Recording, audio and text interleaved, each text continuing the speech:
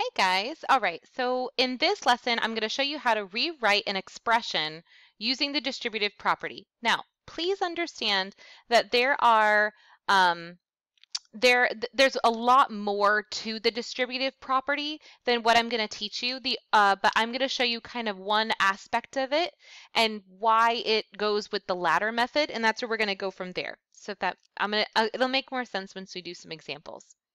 Okay. All right, so we have, let me do an example. Example one. I would like you, it's going to say to rewrite an expression, 72 plus 24. It's going to ask you to rewrite an expression using the distributive property. So I'm going to show you how to rewrite it, and then I'm going to explain how the distributive property works. Okay. So what you're going to do is you're going to take these two numbers and you are going to prime factor them okay, just like we've done in the past. So 72 and 24. So just like we've done, I need a prime factor that goes into both. And I the first one I'm thinking of is 3. So 72 divided by 3 is 24. And 24 divided by 3 is 8. All right, so I'm going to look at my ladder. Now I'm going to decide, is there a factor that goes into 24 and 8? And yes, there is. They're both even numbers, so I'm going to choose 2. 24 divided by 2 is 12. 8 divided by 2 is 4. Again, we can keep going. We still have some even numbers here. 2. 12 divided by 2 is 6. 4 divided by 2 is 2. And we're going to go again. okay. So now we're at the very bottom. We've done the whole ladder. If the ladder part got you confused, just go back. You should watch probably other lessons. But all right, so this is how it works. I know it's going to be a little wonky. We're going to take the GCF, which we have to find multiplying all these numbers together. So over here, the GCF is 3 times 2 times 2 times 2. So let me multiply that on my calculator. 3 times 2 times 2 times 2. So the GCF is 24. And then we have these numbers down here at the bottom. These are just kind of left over for now. So this is how you write using the distributive property. You take your GCF, which is 24, right? And then in these parentheses, you add these two numbers together. So you write it as 3 plus 1. So that is your final answer. And I'm going to explain in a second why this is true. We just could use the ladder method to rewrite it. So let me explain why this is true. And you might have to rewatch this again for it to make sense. So if I were to just straight up add 72 and 24, right, I would get 96. Okay, so 72 plus 24 is 96. But again, we are rewriting. So watch this. This is the distributive property. Let me show you how it works. If you were to distribute, that means to multiply. If I were to take this 24 and multiply it to each of these things in here, you do 24 times 3,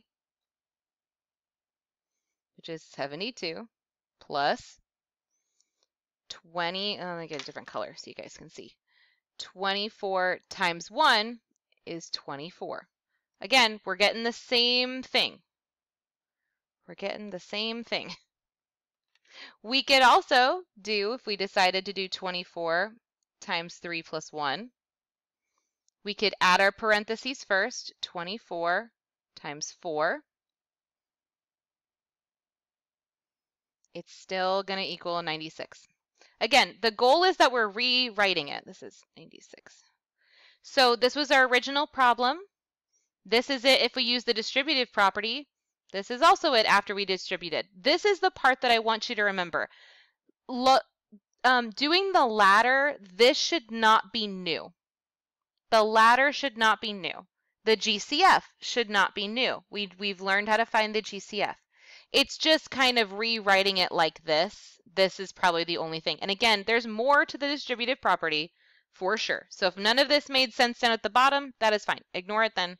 Just focus on this. Okay? These, the orange and the pink is the new. Okay, so we're going to do another example. I'm actually going to flip my paper for this one.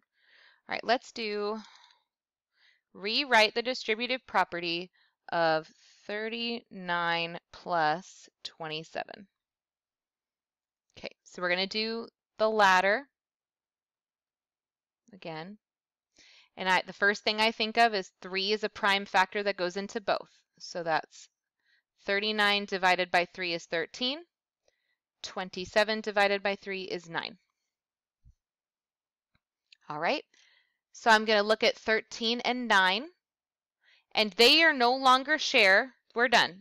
We're at the end of my ladder because they're not going to share one. So I'm going to take my GCF, which is 3, and you write it here. And then you take these numbers that are left over and add them in a parenthesis. So 13 plus 9. That's it. So we're just rewriting it.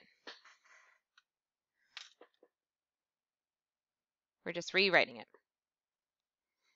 All right. And I know if I'm going fast, please just rewind it. You can watch the examples again. You can just rewatch them. All right, I got one more example for you. Let's do another one. Last one. Oops. 28 plus 42. So we're going to go ahead 28 and 42. 2, uh, because they're even numbers. And we have 14, 21. And then I know that they're both, I know that they both share a prime factor of 7. 14 divided by 7 is 2 and 3. I can't go any farther. So you're going to take the GCF, which is 2 times 7. So the GCF is 14. You're going to write that out. And then you just take these numbers and you write them just like that. And that's your final answer. Alrighty? Gonna do great. I know there's a whole lot more to the distributive property than this, but I wanted to show you just the basics. Um, and in this case, this is all you need to know.